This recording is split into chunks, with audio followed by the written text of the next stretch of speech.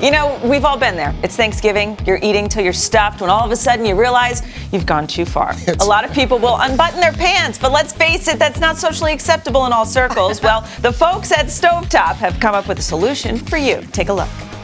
Introducing Stovetop Thanksgiving Dinner Pants. This is the stuff Thanksgiving is made of, and the perfect way to enjoy Thanksgiving dinner in comfort and style. They can expand to nearly two times their original size. Wow! The upscale styling seems to be imported from Milan or Italy, but these high fashion dinner pants are designed in the USA and look great on men and women of all ages. Oh all right, guys, God. this isn't a joke. Why do I agree to do these things? Uh. These are the actual pants. And no surprise, the hashtag Thanksgiving dinner pants has taken off online. One person uh. tweeting, if one of my friends don't get me a pair of these by Thanksgiving, I'm unfriending everybody.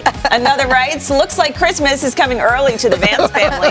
But Elaine says, if you want to eat at my house, there's now a dress code. The uh, pants cost $19.98, but Sheinelle and Craig, I'm sorry to say, they are currently sold out. No way. You, you can have mine if you want them. I can believe I, those aren't going to fit me, but they might fit Sheinelle. No, I have. I have These are huge. A pair of oh, yoga pants and maternity pants. They're kind of like maternity pants. That was, that's what I just yeah, said. They're you totally, can fit a lot in here. Oh, this is oh wait, wait, wait. Did you see the pockets?